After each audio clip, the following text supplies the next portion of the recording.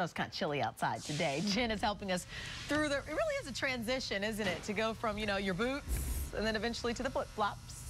Yes, we are at the DSW store in Ardmore, and I've uh, tricked Dr. Maasi Smith to join for joining us. Good morning. Good morning. We've been talking off camera and having so much fun talking about feet. Having and a great time. you're so cute and adorable, but you love to talk about these freaky feet. I do. I do. I really do. Okay, we gave people the test. We said of all these products, first of all, why do we have to get our feet ready for flip-flops and sandals and open-toe season?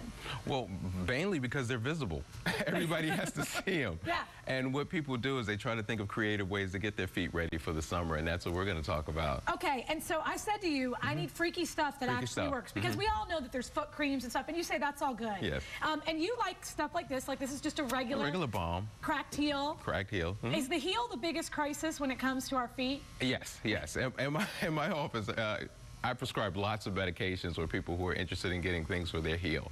It's very common, extremely common. I write dozens of these scripts probably on a daily basis. Okay, the one thing that you said though, especially when it gets warm out, that we forget about, we put our SPF all over our face, Mm-hmm. Exactly. maybe on our arms. You say SPF on the feet is a very, very important thing to do. Absolutely. What happens is people forget about their feet. They put SPF all over their body, but when they get down to their ankles, they forget.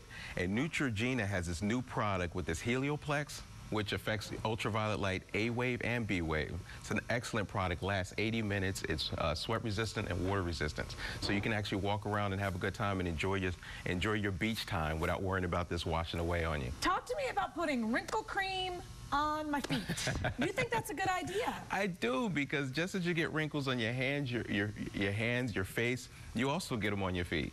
And your feet are exposed, especially if we're talking summer now. Yeah. You're really exposed. And you know, keep in mind, we just talked about how people forget their feet when it comes to putting skin protectants on there. So you can get that, that the uh, photo damage, you know, which is the UV light, and they become wrinkled and stuff like that. But using a good skin cream, a good anti-wrinkle cream would help will be excellent. You know, use it just like you take care of your face. Use Now it in the morning and use it at night. You are doing, you're, you're Dr. Maasi Smith, mm-hmm. but you're playing Martha Stewart on. Yes, TV. I am. Okay, so what is this all about? You say avocado and honey. It's a good idea for our feet. Absolutely. Avocado is high in biotin, which is good for skin and nails anyway, and hair. So what I saw is a, a good a good recipe for honey and avocado. But wait, we're going to do a little twist for feet. Okay. Because that's a face combination. Carol Carol's daughter almond cookie. Sounds so good, doesn't it? You mix that with uh, honey, the oil, and avocado, mash it together, rub it into your feet. We're talking heaven. Really? We're talking heaven. No more freaky feet coming into Dr. Smith's office. Um, here's the good news, ladies and gentlemen. I, I have him held hostage here at the DSW in Ardmore. So coming up, we're going to talk about. He says your your shoes are the number one thing that you have to consider when it comes to whether or not you're going to get a blister, because that's what a lot of people worry about. Okay. So uh, we'll be talking about. It's going to surprise you, I think, which ones he likes and which ones he says are. So he's so he's coming back because Lisa and about 80 other people on the Facebook page this morning want him back. Here's the thing. He's single, okay? And here's the thing. He, um, listen, look, okay, there he is. He's so nice, and I think he's incredibly dateable. He's Lisa, a there you go.